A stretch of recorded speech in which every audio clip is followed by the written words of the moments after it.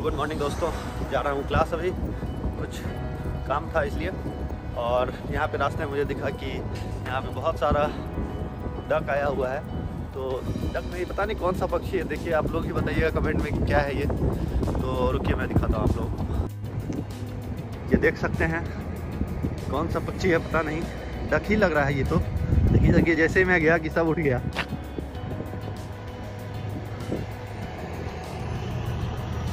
Disturb नहीं करते हैं इस सबको बस सुंदरता का मज़ा लीजिए।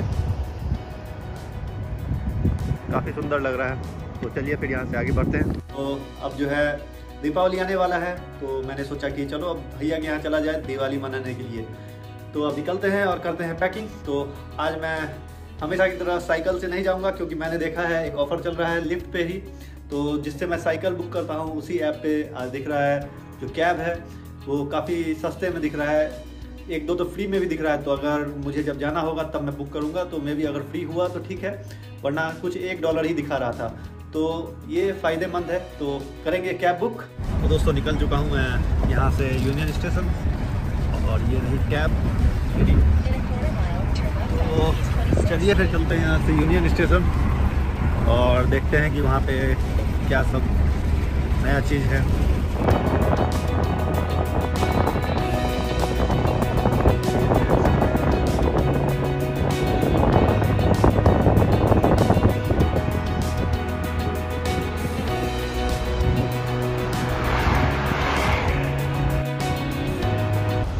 देखिए, स्कूल बस है ये।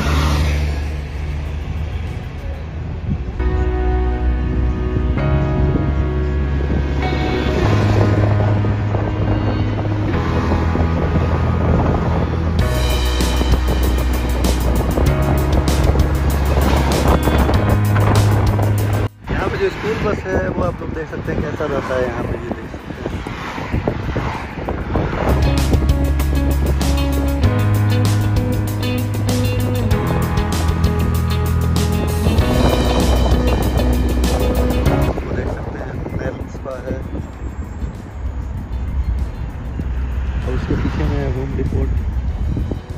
एक बार गया था। ये रहा वॉलग्रीन्स ये फार्मेसी का शॉप है ये मेनली और ये देख सकते हैं यहाँ का जो बस स्टैंड है, वो किस तरह से है। यहाँ पे उधर से बस आती है और इधर से बस निकल जाती है। यहाँ पे से जो रास्ता देख रहे हैं यहाँ पे। और सिग्नल हो चुका है लाल। और जितना डील में मैंने ये कैब बुक किया है, अगर उतना में, अगर सही में उतना ही बिल कटेगा तो पता नहीं। आप लोग सोच नहीं सकते हैं बीस रुपये में मैं आठ किलोमीटर कार से आ, आ चुका हूँ। और ये देख सकते हैं ये जो बस है किस तरह से है। और काफ़ी लंबा बस है। ये देख सकते हैं किस तरह से बस था लंबा सा बस पूरा और दोस्तों ये देख सकते हैं ये आ चुका है यूनियन स्टेशन और ये देखिए कितना ज़बरदस्त ये चला रहा है एक व्हील पे। काफ़ी ज़बरदस्त और इंटरेस्टिंग लग रहा है वो। दोस्तों, सिर्फ़ सत्ताईस पैसा लगा मतलब सत्ताईस सेंट लगा और मैं सात से आठ किलोमीटर अभी इससे आ गया हूँ। तो काफ़ी सही डील मिल गया था मुझे ये। पता नहीं कैसे ऑफ़र दिया, बस ऑफ़र मिल गया तो मैंने इस्तेमाल कर लिया। तो लगभग समझिए कि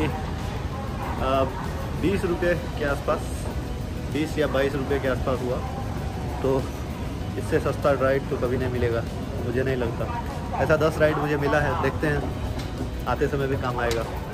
तो चलिए अब चलते हैं टिकट लेने। देख सकते हैं, काफ़ी खूबसूरत ये है। स्टेशन जाने के बीच में ही है। मतलब स्टेशन ही है ये तो। काफ़ी सुंदर लग रहा है, देख सकते हैं आप लोग। और फिर से लेंगे यहाँ से टिकट लग जाते हैं लाइन में। तो देख सकते हैं यहाँ पे ये वाली जो ट्रेन है, ये से इसी से हम लोग जाएँगे। और यही जाएगा हमारे डेस्टिनेशन पे। तो चलिए फिर बैठते हैं अंदर। आ गए हैं बैठ गए हैं ट्रेन में और अब चलते हैं यहाँ से।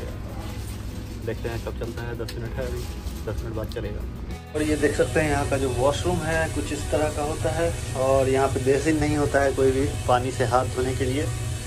तो अगर आपको वॉशरूम आना है तो आप हाथ धोने की गुंजाइश ना करें या फिर उम्मीद ना करें कि आपको हाथ मिलेगा और ये रहा गेट इस तरह से कुछ है गेट यह है हमारा स्टेशन और उतरते हैं यहाँ पे।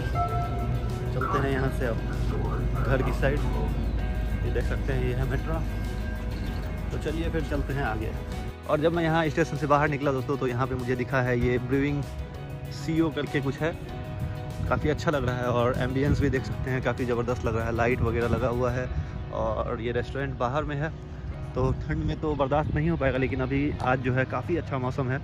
तो गर्मी है, अभी लगभग कितना तेरह चौदह डिग्री सेल्सियस है तो काफ़ी सही मौसम है और धूप भी था। तो देख सकते हैं कितना अच्छा ये जो आसमान है, कितना सुंदर लग रहा है।